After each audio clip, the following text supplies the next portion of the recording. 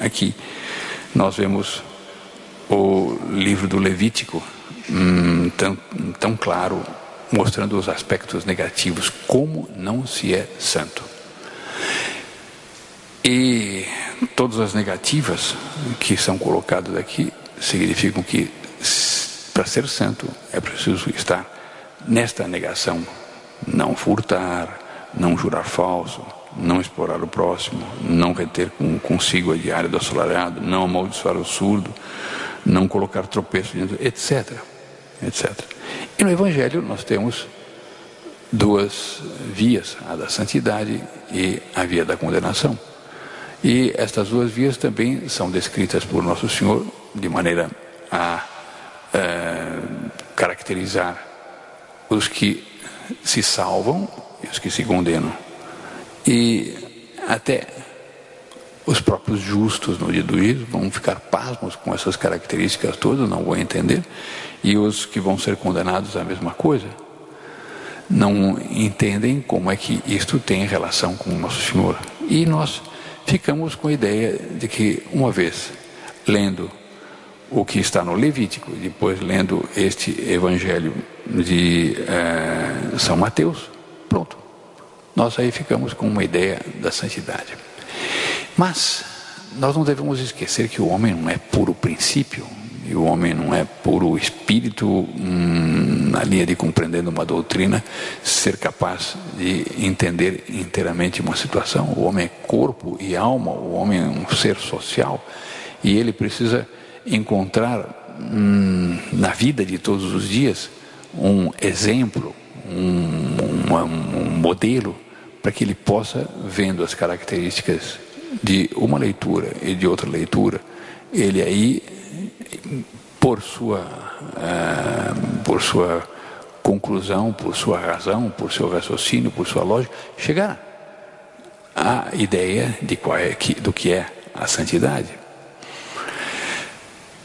Então seria que Deus nos educasse apenas com princípios. Mas é o que ele diz aqui. Fala a toda a comunidade dos filhos de Israel e diz-lhes: sede santos.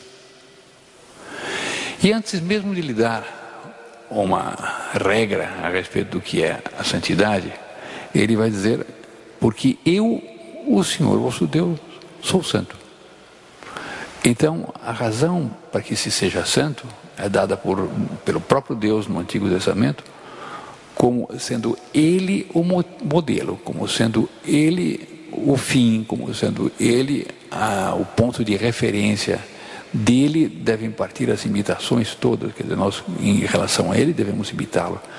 E, portanto, Ele, mais do que uma regra, dá, começa por dar um modelo.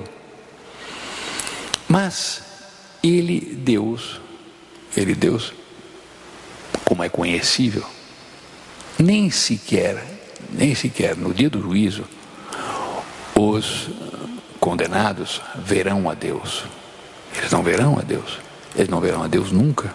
Os condenados não veem a Deus. Então, como? Como podem estes e aqueles, os homens, nas mais variadas épocas, poderem ter um, como é que podem eles ter uma noção do que seja a santidade?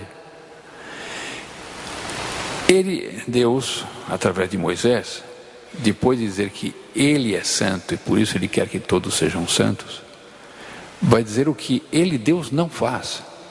Porque é o como nós podemos é, chegar até Deus, sabendo que ele não é isto, ele não é aquilo, ele não é, o que ele é. Ele dirá: Eu sou aquele que é, Yahvé. Mas como eu vou tê-lo diante dos olhos? ele vai dizer: não furteis. Claro, porque há até um mandamento que ele dará depois, nas tábuas ali ficará muito claro, mas que ele põe no fundo da consciência de cada um, de que não se deve tirar o que pertence aos outros. É um mandamento que está ligado intrinsecamente ao direito de propriedade. Não digais mentiras, esse é outro mandamento, é o oitavo mandamento. A verdade tem que ser íntegra, tem que ser dita como ela é, sem, uh, sem subterfúgios. É preciso dizer a verdade por inteiro. Por quê? Porque Deus é a verdade. Nem vos enganeis uns aos outros. Portanto, até mesmo estas falaciosidades próprias a, a, a filhos das trevas, nem isso deve ser empregado, porque todos devem ser honestos, todos devem. Então nós vamos ver pela negativa o que é a santidade. É quem respeita a propriedade privada, quem não disse não à verdade, aquele que diz sempre a verdade, aquele que sempre é honesto em relação aos outros, que nunca jamais toma o santo nome de Deus em vão, mas pelo contrário só usa o nome de Deus para louvor e para a glória de Deus. Portanto, não jura falso em nome dele Deus, não profanará jamais o nome do Senhor, este que é santo. Por quê? Porque ele tem o nome de santo, o nome de Deus com todo respeito, porque vê que é um nome de santidade. Não, e ainda mais, ele põe um asterisco entre o que ele disse e o que ele vai dizer. Eu sou o Senhor.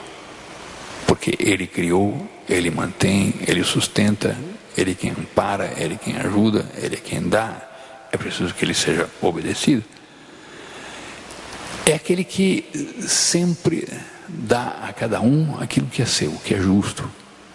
O que pertence a cada um, ele dará. Por isso ele não explora o próximo. E também não quer extorquir nada do, do próximo. Não usa de, hum, de sistemas hum, que são não só desrespeitosos, mas que prejudicam o outro. Chegou pela manhã, ele contratou um empregado para aquela jornada. Ele disse, no fim do dia eu te pago tanto. Chegou o fim do dia, os, aquele trabalhou o quanto pôde. Ele vai receber e diz, olha, amanhã de manhã, quando você vier para pegar uma nova jornada, eu lhe dou. O sujeito vai dormir num suspense. Será que esse sujeito vai dar mesmo? E amanhã eu vou lá, ele de repente me contrata para mais um dia, ele me paga. Ele nunca faz isso. Se ele tratou de manhã um preço, quando chega no fim da tarde ele dá o preço, por isso ele não retém consigo a diária do assalariado até o dia seguinte. Ele vê um surdo com o qual ele fala, procura falar, e o surdo não entende o que ele está querendo dizer. E ele não se impacienta.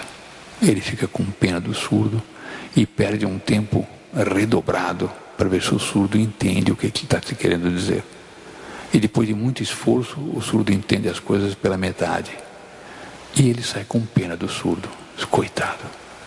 Não é aquele que vai falar com o surdo, o surdo não entende, então ele fica com ódio e amaldiçoa o surdo. Não amaldiçoa o surdo. Ele vê um cego e fica com pena do cego se presta, inclusive, a ser o guia do cego por um trecho qualquer para facilitar a vida do cego. Este é o santo. O outro, que não é santo, vê o cego e diz: Ah, eu vou colocar um, uma tora na frente dele e vai levar um tombo daquele, para ele aprender que não pode andar sozinho na rua. Não é isso, é que ele está querendo se divertir com a desgraça alheia. Não é santidade isso. É, e assim por diante. Porque, mais outro asterisco. Eu sou o Senhor.